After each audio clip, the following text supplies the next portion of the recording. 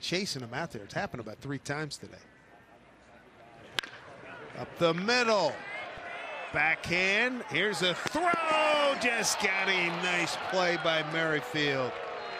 That'll end the Mariner threat. No runs, I hit, no errors, two left. This looked like there was an, op an opportunity to score a run, but Merrifield makes a fine play. Mariners still lead 4 3.